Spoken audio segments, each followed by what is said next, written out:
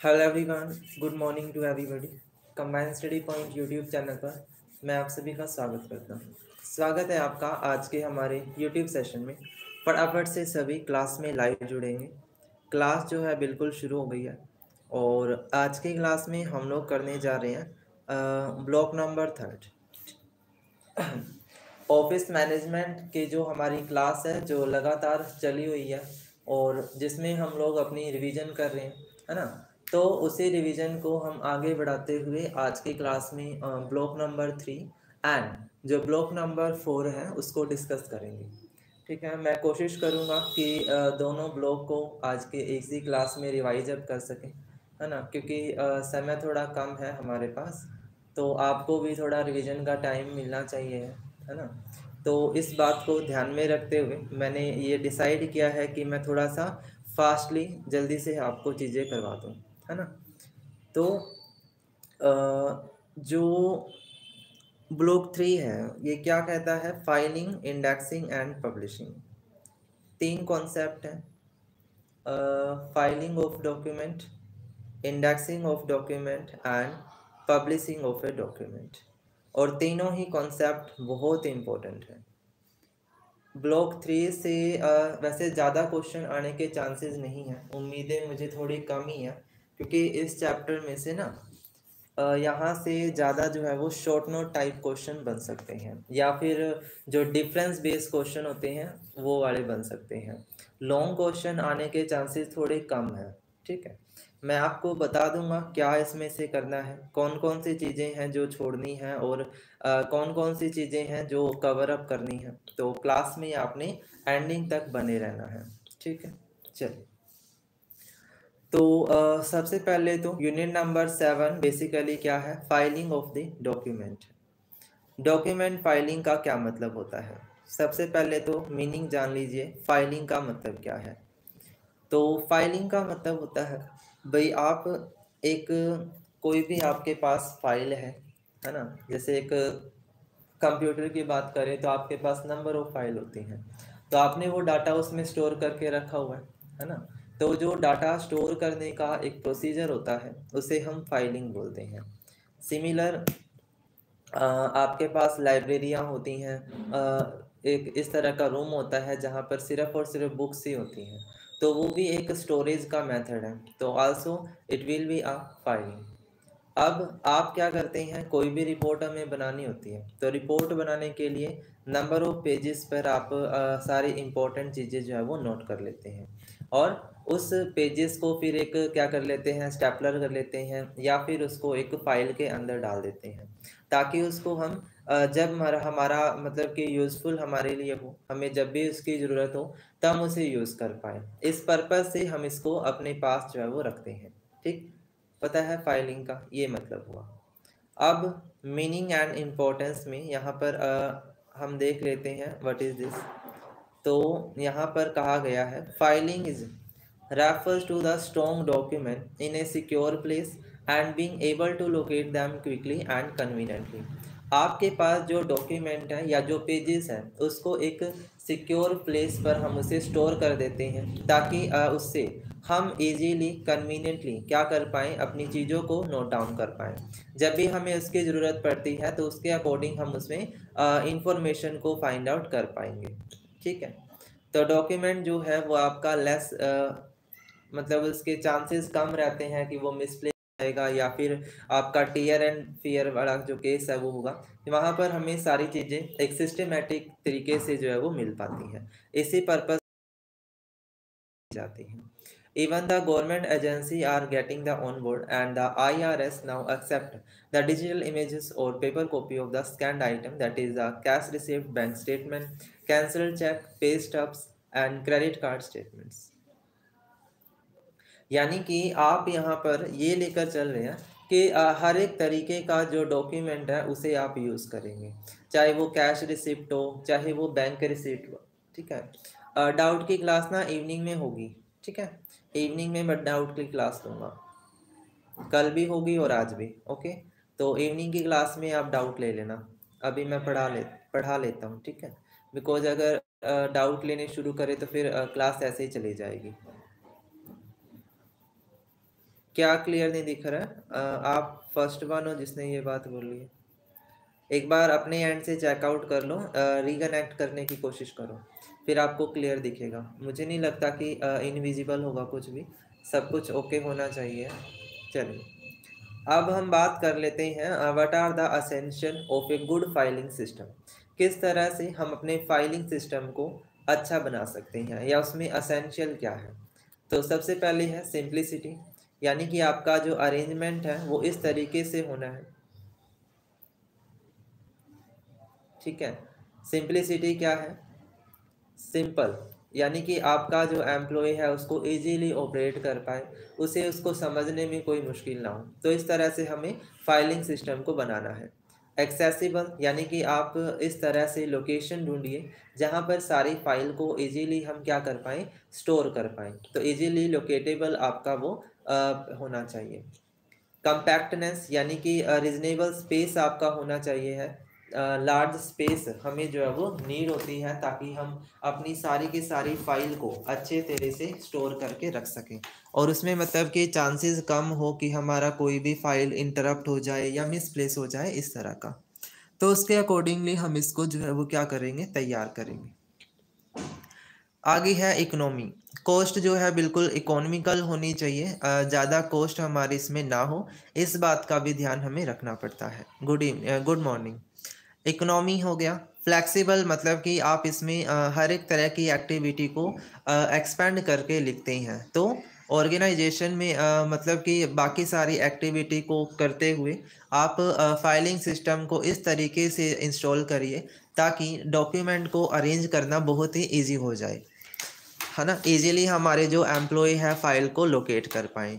Safety का खास ख्याल इसमें रखना होता है कि भाई हमारा जो एसेट है, उसमें कीड़े मकोड़े तो ना लग गए हो, है ना? आसपास मतलब इसका भी ध्यान रखना होगा कि चूहों ने, पता चला कि चूहों ने अपनी फाइलें सारी खा गई, है ना? इस तरह की चीज़ें भी नहीं होनी चाहिए। रिटेंशन होना चाहिए वेल डिफाइंड पॉलिसी होनी चाहिए है फॉर द डिस्कार्डिंग पेपर है ना? कई बार क्या होता है कि ये पेपर ख़राब है और उसके साथ काम का पेपर भी आपने फाड़ दिया है।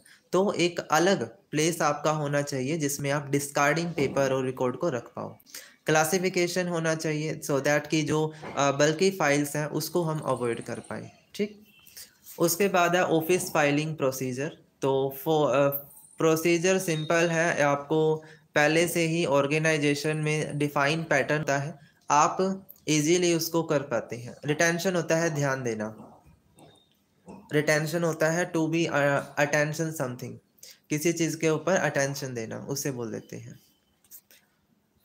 अब यहाँ पर हमारे पास दो तरह के सिस्टम हो सकते हैं। एक होता है सेंट्रलाइज और एक होता है डिसेंट्रलाइज जब हम सेंट्रलाइज की बात करेंगे तो यहाँ पर सारा जो डिसीज़न पावर है, वो किसके हाथ में होती है? एक हेड ऑफ़िस के हाथ में होती है। और हेड ऑफ़िस जो है वो कमांड करता है। कि जो फाइलें वगैरह हैं वो किस तरीके से स्टोर की जाएँगी और जो एग्जिक, उसमें ना एक स्पेशलिस्ट पर्सन को रखा जाता है ताकि फाइलें हमारी मिसप्लेस ना हो। तो इस तरह की चीज़ें इसमें होती हैं। एप्पल जो है इसका सबसे बड़ा एग्ज़ाम्पल है। Good morning Tanu ji. Critical decision Apple is an example of a business with uh centralise management structure ठीक है? एप्पल एक ऐसा बिज़नेस है सेंट्रलाइज बिज़नेस है। जहाँ पर अगर हम बात करें तो सीईओ है जो एप्पल का, वही पूरी तरह से रिस्पॉन्सिबल है to do the filing of the document इसके बाद अगर हम बात करें इसके एडवांटेज की तो यहाँ किसी तरह का डुप्लीकेशन इन्वॉल्व नहीं है. स्टोरेज स्पेस का आपका अच्छे तरीके से यूटिलाइजेशन हो सकता है. आप अपने डॉक्यूमेंट को अच्छे से लोकेट कर पाओगे और स्टोरेज कैपेसिटी को यूटिलाइज करना इजी रहता है. दूसरी तरफ़ हमारे पास है डिसेंट्रलाइज सिस्टम इसमें क्या है? Network offer a wide range of benefit over the more conventional centralise network क्या क्लियर नहीं हुआ? जहाँ पर सेंट्रलाइज हम्म, का मतलब होता है भी एक पर्टिकुलर अथॉरिटी सारा का सारा काम करे। यानी जैसे कि चीफ एग्जीक्यूटिव ऑफिसर के कंट्रोल में सारा फाइलिंग सिस्टम है। बट डिसेंट्रलाइज में क्या होता है? हर एक व्यक्ति जो है वो अपने अकॉर्डिंगली डॉक्यूमेंट को प्लेस अप करता है। वो डिसेंट्रलाइज होगा। ठीक है? जहाँ पर किसी तरह का रिलायबिलिटी रिलायबिलिटी ना हो। सेंट्रलाइज नेटवर्क जो होता है, उसमें प्राइवेसी मेंटेन रहती है। हर कोई मतलब उस ऑफ़िस रिकॉर्ड में नहीं जा सकता। ठीक है? आपको स्पेशल परमिशन की ज़रूरत होती है। बट डिसेंट्रलाइज के अंदर ऐसा नहीं है। हर कोई जो है वो रिकॉर्ड रूम में जा सकता है, अपने अकॉर्डिंगली अपनी कन्वीनियंट के अकॉर्डिंग उन फाइलों को स्टोर कर सकता है। तो डिसेंट्रलाइज हो गया, ठीक? इसमें कोऑर्डिनेशन नहीं होता है रिसोर्स वेस्टेज हो सकती है। जो बड़ी बड़ी ऑर्गेनाइजेशन है, वो इस तरह के सिस्टम को नेग्लेक्ट करती है। डिसीज़न मेकिंग नहीं हो पाता क्वालिफाइड मैनेजर की कमी होती है। तो ये आपके डिफरेंस है, एक बार ये भी देख लीजिएगा। और सेंट्रलाइज और decentralise this will be very important okay आगे आपके पास है टाइप uh, मतलब आप किस तरह से फाइलों को अरेंज करते हैं? एक आपका मेथड होता है अल्फ़ाबेटिकल टॉपिकल फाइलिंग सिस्टम इसमें क्या होता है? जो डिक्शनरी के वर्ड हैं उनके अकॉर्डिंग हम फ़ाइल को अरेंज करते हैं। जैसे उसका पर्सनल नेम या फिर लास्ट नंबर यूज़ कर सकते हैं। कि आ, किसी भी मतलब राम के नाम की फ़ाइल है फिर श्याम के नाम की फ़ाइल है फिर जय के नाम की फ़ाइल है। तो आप उसमें ए टू जेड के अक्सर देखेंगे, है ना, कि कौन सा नंबर पहले है, उसके बाद कौन सा है और उसके बाद कौन सा है। तो वो सिस्टम होता है alphabetical topical filing of the system दूसरा आपका होता है अल्फ़ाबेटिकल इनक्लोपीडिया फाइलिंग सिस्टम यहाँ पर क्या होगा अल्फ़ाबेट के साथ साथ हम उसमें सब कैटेगरी बना देते हैं। जैसे कि आपने ए कैटेगरी लिखा और उसके साथ सब हेडिंग लिख दिया पार्ट नंबर वन फिर ए का पार्ट नंबर टू ए का पार्ट नंबर थ्री है ना? ऐसे करके हम उसमें सब हेडिंग बना देते हैं। इसको बोलते हैं अल्फ़ाबेटिकल इनक्लोपीडिया फाइलिंग सिस्टम यानी आप अल्फ़ाबेट तो यूज़ कर ही रहे हैं प्लस उसमें जो है वो आप एक्स्ट्रा नंबर भी यूज़ करते हैं। थर्ड है अल्फ़ाबेटिकल जोग्राफिकल फाइलिंग सिस्टम इसमें क्या होगा? आप जो क्लासिफिकेशन कर रही हैं on the basis of geographical location ठीक है? भाई आप वो जो फ़ाइल है, उसकी हमें नीड कब होगी? उस लोकेशन के अकॉर्डिंग उसको अरेंज करते हैं। ठीक है? यानी कि भाई जिसको हमें जल्दी से सर्च करना होता है या फ़ाइल ऐसी है जिसकी नीड हमें जल्दी पढ़ने वाली है तो उसको पहले रखेंगे, है ना? और उसके बाद मतलब वो फ़ाइल रखी जाएँगी जिसकी नीड थोड़ी टाइम के बाद होगी तो लोकेशन के accordingly. State numeric filing system, यहाँ पर नंबर सिस्टम होता है, फाइलों को नंबर दिया जाता है, वन, टू, थ्री, फोर करके इस तरह से। डोप्लेक्स नेमरिक फाइलिंग सिस्टम, इसमें क्या होता है? आप जो भी अमाउंट ऑफ़ इंफॉर्मेशन ले रहे हैं, उसमें नंबर के साथ साथ आपका अल्फ़ाबेटिकल भी यूज़ होता है, ठीक? या फिर आप इसमें ना डेसिमल नंबर सिस्टम को भी यूज़ कर सकते हैं, ठीक? क्रोनोलॉजिकल फाइलिंग सिस्टम इसमें ईयर बेस पर या डेट बेस पर फ़ाइल को अरेंज किया जाता है। जैसे जितने भी हमारे गवर्नमेंट रिकॉर्ड रूम होते हैं, वहाँ पर इसी तरह के सिस्टम को फॉलो करते हैं क्रोनोलॉजिकल फाइलिंग सिस्टम को। क्योंकि वहाँ पर क्या अभी ईयर टू ईयर सारे रिकॉर्ड रखने होते हैं और फिर उसी के अकॉर्डिंगली हम चीज़ों को अरेंज अप करेंगे। आगे है अल्फ़ा नैमरिक फाइलिंग सिस्टम इसमें क्या होगा? आप जो कैटेगरी वगैरह यूज़ करते हैं, वो नंबर एंड फ़ाइल दोनों के बेस पर यूज़ करते हैं। फाइलिंग भी है और साथ में नंबर भी है। दोनों के बेस पर उसको अरेंज करेंगे। क्लियर चलिए। तो ये था भाई आप लोगों का फाइलिंग प्रोसीजर इसमें आपके स्टेप्स के एक बार देख लेते हैं क्या क्या स्टेप्स होते हैं। फ़र्स्ट ऑफ़ ऑल है ऑर्डर टू फ़ाइल है ना? पहले तो हायर अथॉरिटी ऑर्डर देगी फ़ाइल बनाने का। उसके बाद एम्प्लॉय मिलकर उसे प्रिपेयर करेंगे। थर्ड नंबर पर शॉर्टिंग एंड फाइलिंग होगा मतलब उस फ़ाइल का कोई सीरियल नंबर होगा या फिर एक अल्फ़ाबेटिकल नंबर होगा। फॉलो अप स्लिप मतलब कि आपका एक लास्ट स्टेप होता है, जिसमें ये बताया गया है कि आपकी फ़ाइल कंप्लीट हो गई है और उस पर एक स्लिप लग जाती है कि इस विल बी कम्प्लीटेड वो फॉलो अप स्लिप है। रिट्राइवल होता है रीचेकिंग कि आप उसको दोबारा से चेकआउट करते हैं कि कोई मिस्टेक उसमें तो नहीं है। And then transfer of file उसमें जो भी डाटा वगैरह है, उसको अगर हम ट्रांसफ़र करना चाहें तो डुप्लीकेशन भी उसकी रख सकते हैं। एंड लास्ट उसका रिटेंशन होता है और उसमें हम उसको फाइनलाइज करके जो है वो रिपोर्ट दे देते हैं। ठीक? तो this will be the steps of filing our procedure यह आपको पता होना चाहिए। एक आपका डिजिटल रिकॉर्ड होता है जिसमें सारा का सारा काम कैसे है ऑनलाइन आप अपने कंप्यूटर में डिजी लॉकर वगैरह बना लेते हैं और कंप्यूटर के अंदर ही सारा डाटा स्टोर किया जाता है। उसे डिजिटलाइजेशन बोलते हैं। ठीक है? चलिए। बस, ये था आपका रिकॉर्ड वाला सिस्टम फाइलिंग आई थिंक समझ आया होगा सभी को. मुझे नहीं लगता किसी को कोई दिक्कत होनी चाहिए. बाकी इसमें से मैं थोड़ा सा कॉन्सेप्ट बता रहा हूँ क्या क्या आपको पढ़ लेना चाहिए. ठीक है? एक तो आप लोगों ने करेक्टरिस्टिक्स पढ़ लेने हैं कि फाइलिंग सिस्टम में करेक्टरिस्टिक्स क्या है. सेंट्रलाइजेशन क्या होना चाहिए है? डिसेंट्रलाइजेशन पता होना चाहिए. और जो आपका प्रोसीजर है फाइलिंग का स्टेप्स हैं वेरी वेरी इंपॉर्टेंट और जो आपका ये अल्फ़ाबेटिकल फाइलिंग सिस्टम और नमेरिकल फाइलिंग सिस्टम है। यानी जो हमने ये टाइप पढ़े हैं ना इनमें डिफरेंस भी आ सकता है। जो फाइलिंग अरेंजमेंट के टाइप्स हैं वो भी आपसे पूछा जा सकता है। तो उसके अकॉर्डिंगली उसको भी तैयार कर लेना है। चलिए अब हम बात करेंगे इंडेक्सिंग डॉक्यूमेंट की। इंडेक्सिंग आप लोगों ने आ, सुना होगा सुनी हुई टर्म है इंडेक्सिंग क्या होता है इंडेक्सिंग में? हम आ, पूरी रिकॉर्ड को ना पढ़कर उसका एक इंडेक्स तैयार कर लेते हैं, एक डाटा स्ट्रक्चर तैयार कर लेते हैं, ताकि उसको याद करना, उसको जो है क्लासीफाई करना इजी हो जाए। It is an act of describing और क्लासीफाइंग बाय इंडेक्स नंबर और other symbol Document indexing is process of associating or tagging the document with a different searching term. आप उसको सर्च करना चाहते हैं, किसी भी फ़ाइल को या डॉक्यूमेंट को तो सर्च करने के लिए हम जो है इंडेक्सिंग यूज़ करते हैं। है ना? अब जैसे आप कोई भी नोट्स बनाते हैं रजिस्टर बनाते हैं तो उसमें क्या करते हैं, पहला पेज इंडेक्सिंग इंडेक्स का होता है हमारा।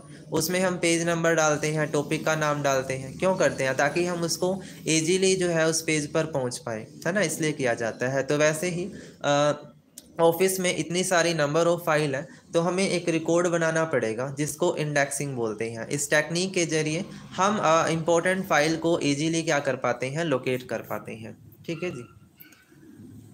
इंडेक्सिंग जो है वो सिंपल होना चाहिए है इकोनॉमिकल होना चाहिए एंड फ्लेक्सिबल हो और क्विकली लोकेटेबल हो। उसको इजीली आप क्या कर पाएँ?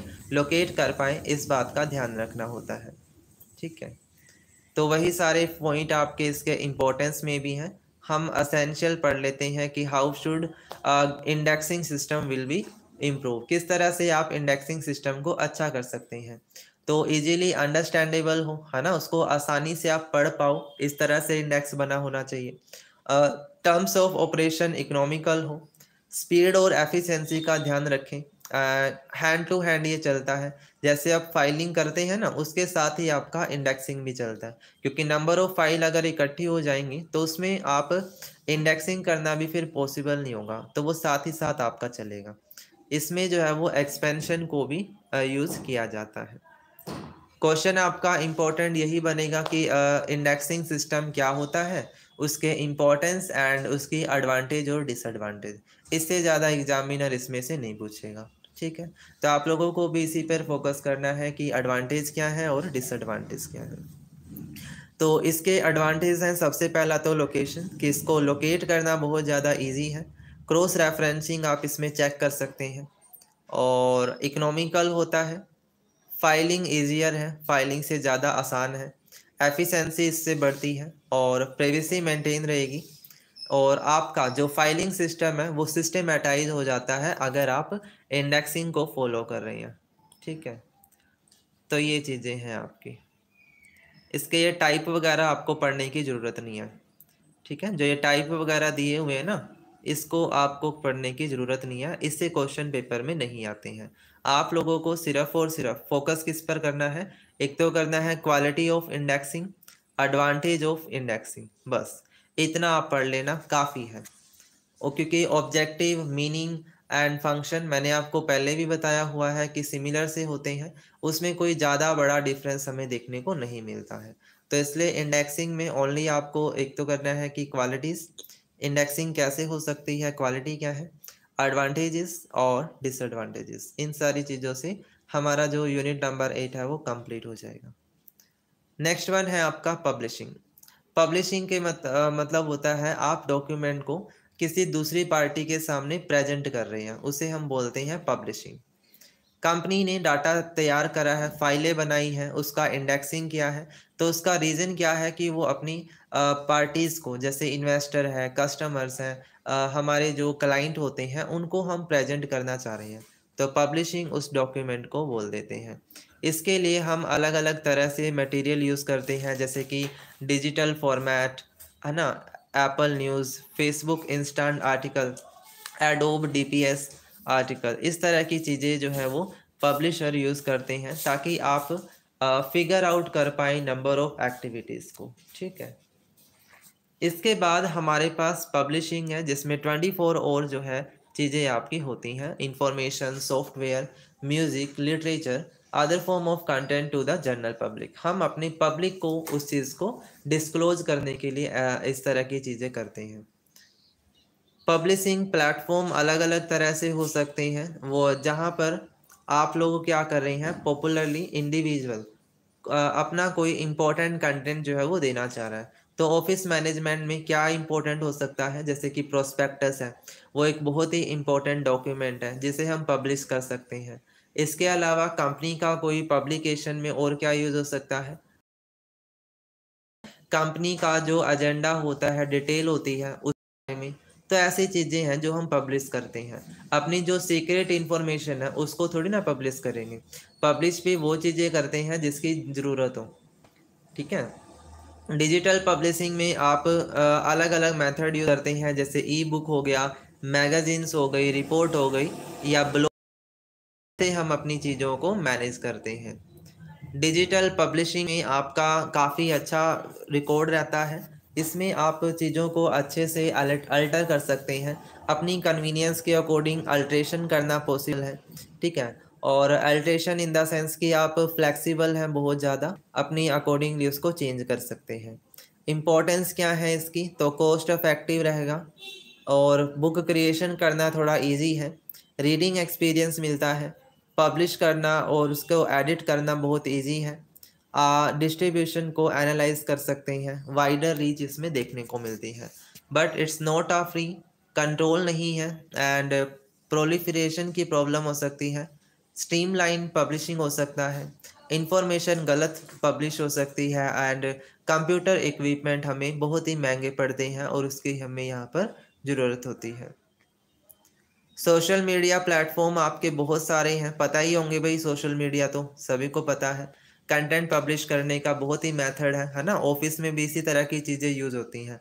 यूट्यूब इंस्टाग्राम फेसबुक व्हाट्सएप ये सारे सोशल मीडिया प्लेटफॉर्म ही तो हैं, जिससे कि कंपनी अपनी जो है इम्पोर्टेंट इंफॉर्मेशन जो वो पब्लिक के साथ शेयर करना चाह रही है, उसे यूज़ कर रही है।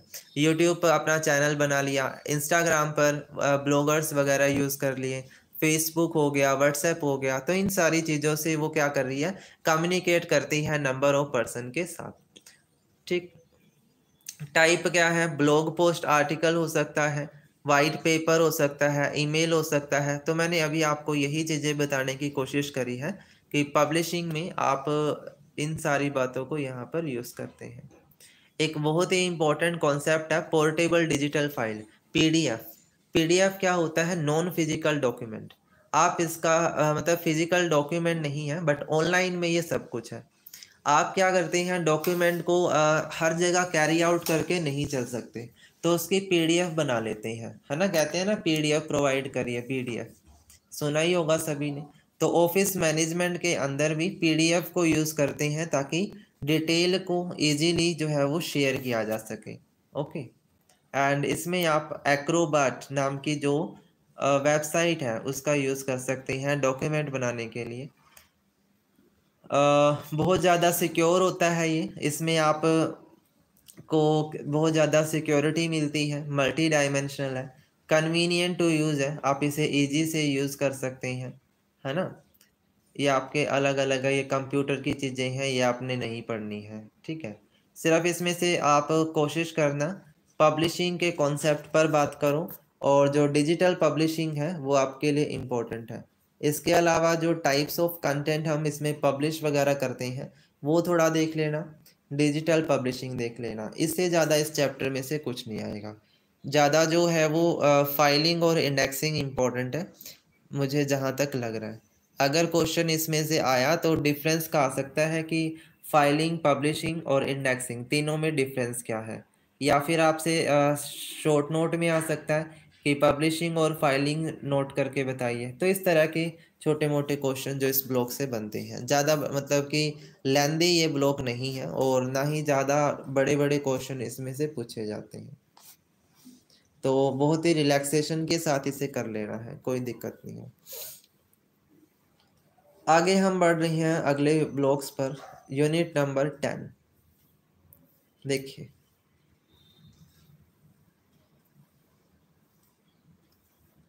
देखो, इसमें आपको फॉर्म के बारे में पढ़ा, पढ़ना होगा फॉर्म क्या होता है। ऑफ़िस फॉर्म एक फॉर्मेट होता है, जिसमें कोई स्टैंडर्ड डॉक्यूमेंट आपका फिक्स किया गया हो। ठीक है? क्या किया गया हो? कोई स्टैंडर्ड डॉक्यूमेंट फिक्स किया गया हो, उसे हम ऑफ़िस फॉर्म बोलते हैं। जैसे कंपनी ना कस्टमर से रिव्यू लेना चाहती है अबाउट द प्रोडक्ट है ना? ऑफ़िस मैनेजमेंट में कस्टमर से प्रोडक्ट का रिव्यू लेना चाह रही है तो उसके लिए क्या बनाती है? क्वेश्चन बनाती है है ना?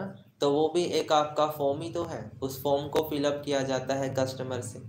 तो इस तरह की चीज़ें यहाँ पर अरेंज होती हैं। आई होप सबको पता ही होगा। फॉर्म का दूसरा एग्जांपल अगर मैं दूँ, आप अपने कॉलेज के अंदर फॉर्म भरा होगा, है ना? तो वो भी एक डॉक्यूमेंट ही तो था अरेंजमेंट था, जिससे कि डिटेल ली जा रही है। तो ऑफ़िस मैनेजमेंट में भी फॉर्म फिलअप ज़रूर होते हैं। फॉर्म का और क्या यूज़ है? अब हमें ऑफ़िस के लिए स्टाफ की नीड है। हमें ऑफ़िस के लिए स्टाफ की नीड है।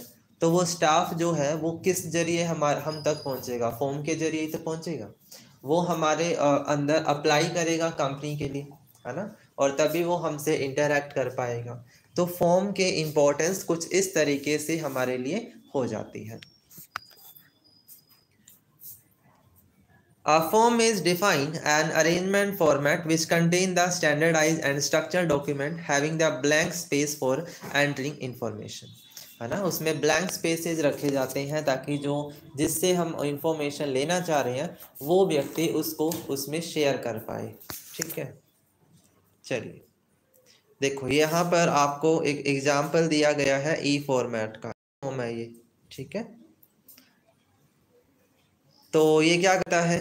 कम्युनिकेट करना इससे इजी रहता है। स्पेस रिस्ट्रिक्शन होती है। इजीली ऑफ़िस ऑपरेशन हो पाते हैं। आप मल्टीपल और एफिशिएंसी जो है ऑफ़िस सिस्टम की वो इम्प्रूव होती है।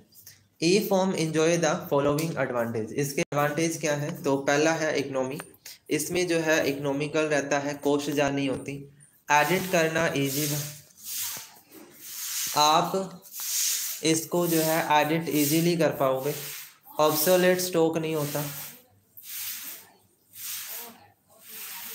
कन्वीनियंस टू यूज़र बहुत ज़्यादा कन्वीनियंटली आप इसे यूज़ कर सकते हैं। स्पेस वगैरह की इन्वॉलमेंट इसमें नहीं है। इंफॉर्मेशन कोई कॉन्फिडेंशियल बनी रहती है। यानी कोई भी जो इंफॉर्मेशन है, वो आपकी लीक नहीं होगी। वो आप तक ही रहेगी, सीमित रहेगी। ए फॉर्मेट इसमें यूज़ होता है। ठीक है? तो इस तरह से आप ऑफ़िस फॉर्म को यूज़ करते हैं। हमारे लिए इसकी एक बेहतरीन सी क्या है? Importance designing of office form, कैसे इसको बनाया जाएगा? सबसे पहले असरटेन करना पड़ेगा बिहाइंड द इंट्रोडक्शन आप जब भी फॉर्म बनाते हैं तो उसके पीछे आपका लॉजिक क्या है रीज़न क्या है, वो आपको सोचना पड़ेगा। ठीक है? इसके बाद सेल्फ एक्सप्लेनेटरी टाइटल उसमें डालेंगे कि आप किस तरह का फॉर्म बना रहे हैं। उसका टाइटल तो दोगे, उसके बाद name and address of the department उसमें जनरेट करेंगे।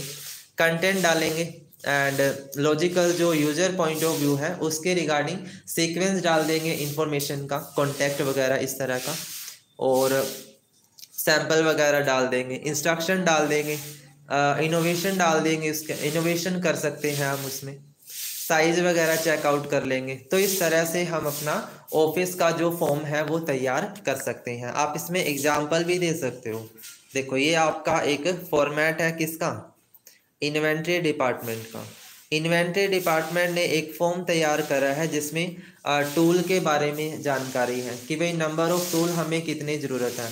टूल का नाम है, उसका लेजर नंबर सप्लायर कौन है परचेज क्या है क्वांटिटी कितनी है यूनिट कितनी है टोटल अमाउंट क्या है कंडमनेशन क्यों हुई रिमार्केबल है signature of the technical committee तो इस तरह से एक फॉर्म जनरेट हुआ है to obtain the information of inventory है ना? इस तरह से चीज़ें होती हैं। आई होप समझ में आ रहा होगा भाई फॉर्म का मतलब यहाँ पर क्या है। चलिए तो what are the use of form in office form हम यूज़ क्यों करते हैं? इम्पोर्टेंस क्या है?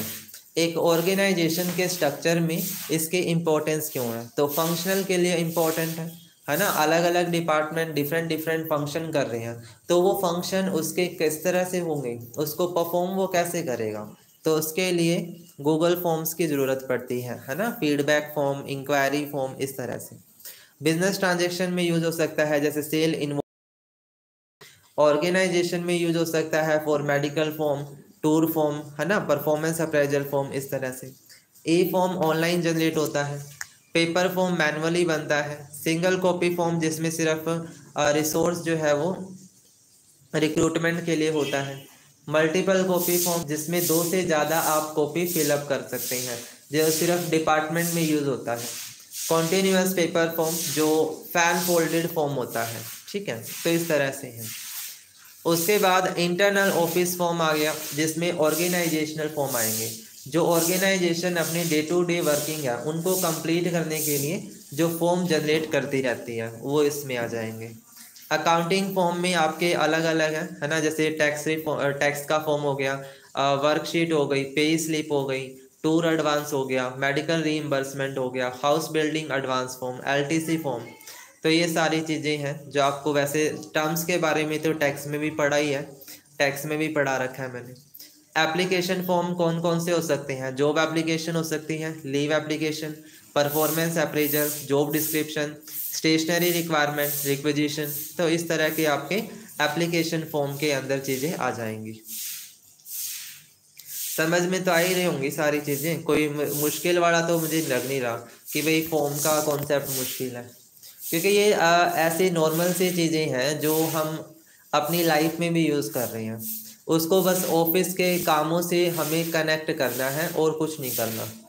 ठीक है? और अभी तक जितना मैंने पढ़ा दिया है ना, अगर आपने इन ब्लॉक्स को भी कर लिया तो वही काफ़ी है। पाँच ब्लॉक हमने पढ़ लिए हैं। ये पांचवा ब्लॉक चल रहा है हमारा। पता है ना आप लोगों को? और ओवरऑल इतना ही सिलेबस आपको करने की ज़रूरत होती है। वो तो मैं एक्स्ट्रा भी आपको करवा देता हूँ कि भाई इन केस आपको क्वेश्चन चूज़ करना हो तो उसमें आपके काम आ जाए। बाकी ओवरऑल तो सिलेबस हमारा हो गया है, मेरी तरफ़ से। इतना अगर आप पढ़ के चले गए तो बस बल्ले बल्ले यार समझ जाना। ये पेपर आपका इतना अच्छा होएगा कि बस क्या ही पूछोगे। एक्सटर्नल कॉन्ट्रैक्ट फॉर्म यहाँ पर आ, क्या होते हैं? कॉमर्शियल ऑर्गेनाइजेशन जब कोई भी एग्रीमेंट करती है कोई ट्रेड एग्रीमेंट करती है तो उसमें इसका यूज़ होगा। जैसे क्रेडिटर और कस्टमर के लिए। हम क्रेडिट के लिए कोई भी ट्रांजेक्शन कर रहे हैं तो उसमें हम सप्लायर को या इनको इन्वॉइस वगैरह देते हैं ना ऑर्डर फॉर्म में आपका इस तरह से ऑर्डर फॉर्म जनरेट होता है। मंगवाया है, कितनी क्वांटिटी में मंगवाया है प्राइस आप क्या एक्सपेक्ट कर रहे हो, इस तरह से। Different type of field field वगैरह छोड़ो, ये छोड़ो आप। ये तो आपने कंप्यूटर में भी पढ़ा हुआ है।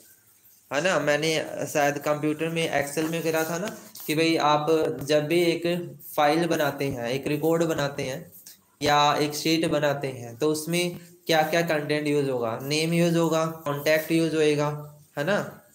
Contact custom field group progress है ना? इस तरह से चीज़ें हैं। इस फॉर्म के एडवांटेज और डिसएडवांटेज ये भी आपने कर लेना है। और इतना सारा मतलब कि हमने पढ़ लिया है इम्पोर्टेंस में करेक्टरिस्टिक्स में नेचर में तो इससे अब एडवांटेज और डिसएडवांटेज बनाना बहुत ही इम्पोर्टेंट हो जाता है। और यूज़फुल भी है, आसान भी है है ना? इजीली आप बना भी सकते हो। देखो ऑफ़िस मैनेजमेंट कुछ भी खास पेपर नहीं है। मैं इसको सबसे इजी मानता हूँ, क्योंकि भाई ऑफ़िस मैनेजमेंट सिर्फ़ मैनेजमेंट ही करना है, और मैनेजमेंट पढ़ते पढ़ते तुम आप लोग जो है फाइनल ईयर में आ गए हो, ठीक है? मैनेजमेंट आपने कितना पढ़ा हुआ है?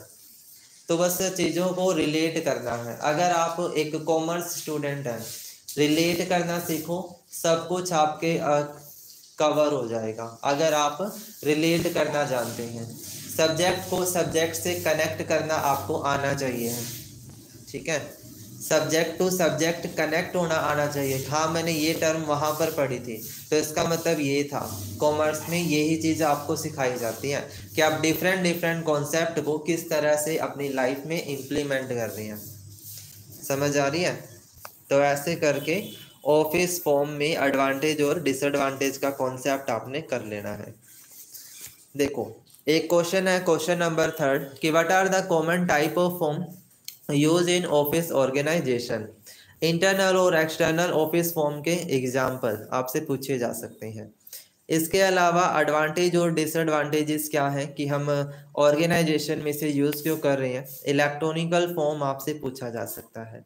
तो ये कुछ क्वेश्चन हैं जो एग्जामिनर के दिमाग में रहते हैं, जो पूछ लेता है। ठीक है? इतना अगर पूछ ले तो कोई दिक्कत नहीं है। इसके बाद अगर मैं ऑफ़िस स्टेशनरी की बात करता हूँ तो इसमें सिर्फ़ आपको ये याद करना है कि स्टेशनरी कौन सी यूज़ होती है। What are the stationery use in a office एक ऑफ़िस बिल्डिंग में कौन से कौन से स्टेशनरी जो हम यूज़ करते हैं। तो जैसे आप घर में स्टेशनरी यूज़ करते हैं, वही तो आपकी ऑफ़िस की स्टेशनरी है। है ना? वही तो है ऑफ़िस की भी। कोई अलग थोड़ी ना अब जब घर पर आपने कोई भी प्रोजेक्ट बनाना है तो उसके लिए पेजेस चाहिए होंगे फाइलें चाहिए होंगी तो वही फाइलें ऑफ़िस में यूज़ हो रही हैं। स्टेशनरी के नाम पर पेन पेंसिल इरेजर शॉर्पनर यही सब होता है। बस थोड़ा सा इसी को सोचना है कि स्टेशनरी कौन सी कौन सी यूज़ करोगे। तो बस पेपर में आपसे यही पूछा जा सकता है कि ऑफ़िस के अंदर कौन कौन सी स्टेशनरी यूज़ की जा सकती है। ज़्यादा इसमें डिटेल में कुछ पूछने वाला कुछ है नहीं है। देखो, सबसे पहले है पेपर्स जिसमें आप कोई लिखोगे, है ना? लिखने का मैटर हमारा होना चाहिए ना? तभी तो लिख पाओगे। तो पेपर इज़ सबसे सबसे ज़्यादा इम्पोर्टेंट दूसरा है राइटिंग का pen pencil permanent marker sketch pen printer इस तरह से। फ़ाइल एंड फोल्डर जिसमें आप अपनी फ़ाइल को डॉक्यूमेंट को अच्छे से रख पाओ। डायरी ताकि इम्पोर्टेंट नोट्स वगैरह उसमें यूज़ किए जा सकें। डेस्क कैलेंडर, है ना? एक ऑफ़िस टेबल में कैलेंडर ज़रूर लिखा, रखा होता है। कैलकुलेटर, ताकि आप कैलकुलेशन कर पाओ। इसके बाद स्टेशनरी, जैसे pen drive, scissor paper weight scale, glue, sticky slip, pen holder, paper tray, है ना? इस तरह की चीज़ें हैं जो हम इसमें यूज़ कर सकते हैं। समझ आ रही है? ये आपके सारे स्टेशनरी आइटम्स हैं। और तुम्हें क्या करना है? सिलेक्शन वाला और कर लेते हैं कि सिलेक्शन ऑफ़ स्टेशनरी किस तरह से करते हैं। तो सबसे को अफेक्टिव बनाते हुए हम स्टेशनरी सिलेक्ट करेंगे। हमारा पहले तो ये देखेंगे कि बिज़नेस कैसा है। छोटा बिज़नेस है, बड़ा बिज़नेस है, उस हिसाब से देखेंगे। और अपनी कॉस्ट अफेक्टिवनेस को भी देखेंगे, हमारा कॉस्ट कम आए। कम से कम कॉस्ट में हम इस चीज़ को फॉलो अप कर पाए। बजट हुआ आ, हमें इतने एफर्ट करने हैं कि स्टेशनरी जो है वो एक कॉम्पेटिटिव प्राइस में हमें मिल पाए। यूटिलिटी जो सप्लायर है उससे स्टेशनरी जो हम ले रहे हैं उसमें यूटिलिटी हमें कितनी मिलेगी? कितने दिन तक वो स्टेशनरी हम यूज़ कर पाएँगे? तो उसको भी ध्यान देना है। ड्यूरेबल इकोनॉमिकल प्राइस तो होना ही चाहिए साथ में। वो आपका कितने टाइम तक उसमें क्वालिटी मतलब कैसी है सुपर सुपीरियर क्वालिटी स्टेशनरी की मस्ट है। क्वालिटी मतलब ब्रांडेड स्टेशनरी ही यूज़ करनी है। डुप्लीकेट नहीं यूज़ करनी। है ओके तो ये आपका स्टेशनरी है बेसिक है बिल्कुल। कोई ज़्यादा रोक रॉकेट साइंस इसमें नहीं है। ठीक है ना? कोई भी मतलब प्रॉब्लम वाला इसमें कुछ है ही नहीं। है क्या इसमें? ये देखो प्रिंसिपल सिखा रहे हैं आपको परचेज के। भाई, जब आप परचेज करने जाते हो तो आपको क्या क्या सोचना है? है? जैसे कि तुमने कभी परचेज ही नहीं करी हो। कर रखी है ना सभी ने परचेज तो। तो बस यही मान के चलो कि आप बन गए हो ऑफ़िस के सेल्समैन है ना? सॉरी सेल्समैन नहीं, आप जो है एक क्लर्क की तरह काम कर रहे हैं और आपको जो है, बॉस ने कहा कि भाई जाओ और ये ये सामान लेकर आओ, साथ में बिल ले आना। तब जब आप वहाँ पे स्टेशनरी शॉप पे जाओगे तो क्या क्या सोचोगे? क्वांटिटी सोचोगे? भाई हाँ ये सामान मंगवा रखा है, इतनी क्वांटिटी में है तो राइट क्वांटिटी होनी चाहिए। क्वालिटी होनी चाहिए, है ना? क्वालिटी कॉन्शियसनेस रखेंगे। टाइम पर आप स्टेशनरी को अवेलेबल करवा पाओ। प्राइस सही होना चाहिए सोर्स सप्लायर आपका सही हो। प्लेस जहाँ से आप सामान लोगे, वो वेंडर बिल्कुल सिलेक्टेड होना चाहिए, ठीक? केयरफुल हैंडलिंग इसमें हो। हाउस कीपिंग बहुत अच्छी हो। प्रिंसिपल ऑफ़ रिक्वेजेशन जितनी रिक्वायरमेंट उतना ही स्टेशनरी एक्सेस में नहीं लेके आना है। अफेक्टिव स्टॉक कंट्रोल सिस्टम होना चाहिए, तभी हम इसको जो है वो यूजफुलनेस के साथ यूज़ कर पाएँगे। बस। ये तुम्हारा स्टेशनरी है। कुछ है इसमें? कुछ भी नहीं है। बोलो। बताओ, कुछ है क्या अलग? या मुश्किल है? बताओ। लग रहा है कुछ डिफ़िकल्ट कि भाई हाँ ये तो बहुत ही मुश्किल है। हमने तो कभी पढ़ा ही नहीं। है? कुछ ऐसी टर्म है इसमें ऑफ़िस में? कुछ भी नहीं है।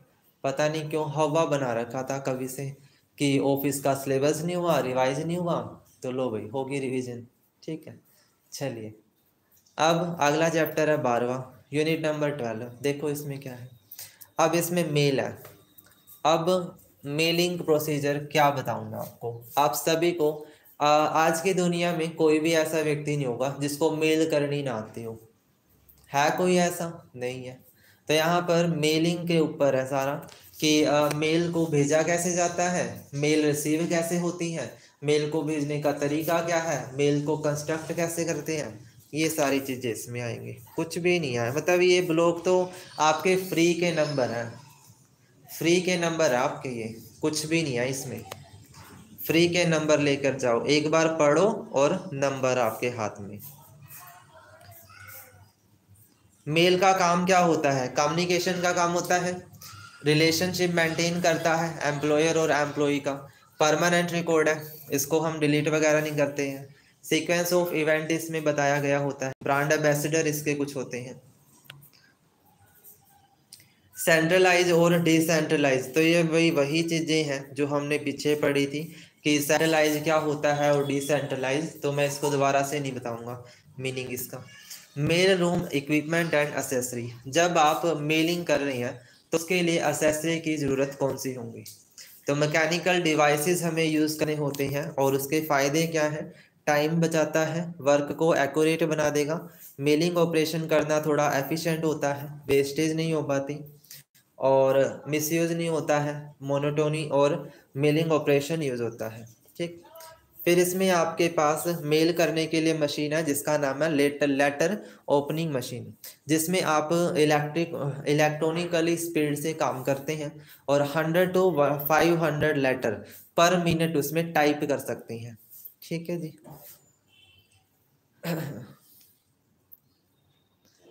एक होता है नंबर एंड डेटिंग मशीन जिसमें नंबर और डेट मेंशन होता है, ये वाले, जिससे आप नंबर डालते हो और डेट डालते हो। फोल्डिंग एंड इंसर्टिंग मशीन जिसमें आप शीट को फोल्ड अप करते हैं, है ना? ये सारी मशीनें किसमें यूज़ होती हैं? मेल को कंस्ट्रक्ट करने में मेल एनवोलोप में ही तो जाएगा, है ना? सीलिंग मशीन, जिसमें आप उसको सील कर देते हैं, जो आपका डॉक्यूमेंट है। मेलिंग स्केल, ये असरटेन करना कि आउटगोइंग मेल की वेटेज कितनी है। एड्रेसिंग मशीन जिसमें एड्रेस डाला जाता है एनवोलोप पे। देखो, कितना आसान कर दिया मेल मेलिंग का और प्रॉपर मतलब डिपार्टमेंट ही बना हुआ है, जो सिर्फ़ और सिर्फ़ यही काम करेगा। मेल को रिसीव करना मेल को सेंड करना। एनवोलोप के ज़रिए किया जाता है। ठीक है? एक मेल तो होता है जो डिजिटल होती है और एक मेल आपके इस तरह से भी होती है जहाँ पर मेल को पेपर फॉर्मेट में जो है वो एक दूसरे को सप्लाई करते हैं। समझ रहे हैं? चलिए।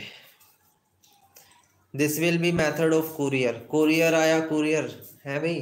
कुरियर कुरियर भी तो हम यूज़ कर रहे हैं। Sending the mail through post post के थ्रू भी हम इसे यूज़ करते हैं, जैसे बैंकिंग हुआ इंश्योरेंस हुआ रेमिटेंस हुआ postal services etcetera revenue stamp तो ये कुछ तरीके हैं जिससे कि पोस्ट ऑफ़िस के ज़रिए हम अपना मेल सेंड वगैरह कर देते हैं।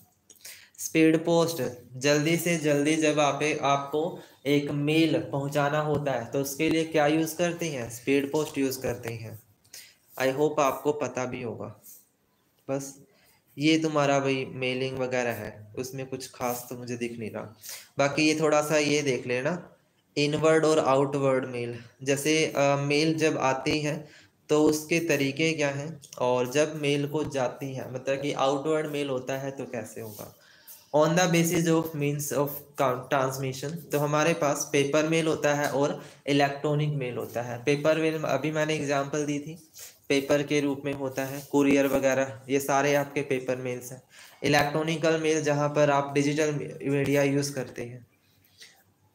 इनवर्ड मेल है जो सिर्फ़ रिसीव की जाती है ऑर्गेनाइजेशन में। आउटवर्ड जो किसी को सेंड करते हैं। इंटर डिपार्टमेंटल एक डिपार्टमेंट दूसरे डिपार्टमेंट को सेंड कर रहा है। इंटर डिपार्टमेंट रिटर्न कम्युनिकेशन होता है सेम डिपार्टमेंट में।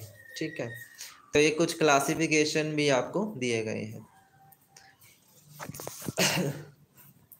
पहले इसमें क्या होता है? मेल को रिसीव किया जाता है। जब आप इनवर्ड मेल का प्रोसीजर पढ़ा, पढ़ रहे हैं मेल को सॉर्ट करते हैं, भी उसमें ये देखा जाएगा कि आपके लिए इंफॉर्मेशन कौन सी ज़्यादा इम्पोर्टेंट है। ठीक है? इसके बाद ऑफिशियल मेल को ओपन करते हैं। उसको एग्जामिन करेंगे देन उसका रिकॉर्ड देखते हैं इनकमिंग मेल का। डेट स्टैंपिंग देखते हैं। सेग्रीगेटेड और distributed and then follow up उसका रिप्लाई भेज दोगे आप फॉलो अप कर दोगे। ठीक है? और और और और। आउटवर्ड मेल के देख लीजिए क्या है। आउटवर्ड मेल में पहले रिप्लाई को तैयार करना पड़ता है सूटेबल उसके बाद आउट गोइंग लेटर का कलेक्शन देख सकते हैं। मेल आउटवर्ड रजिस्टर है, जिसमें हम इसे यूज़ कर सकते हैं। इंसर्टिंग करते हैं मेल की। और एनवलोप तैयार करते हैं, उस पर एड्रेस लिखते हैं, उसके बाद उसको डिलीवरी के लिए भेज देते हैं। तो ऐसे करके आपका इनवर्ड आउटवर्ड मेल का जो है वो तरीका है, जो आपको यहाँ पर यूज़ करना है। तो इम्पोर्टेंट है मेल रूम इक्विपमेंट ठीक है? इसके बाद तुम्हारा जो इम्पोर्टेंट बनता है वो है steps to be sending an email ठीक है जी?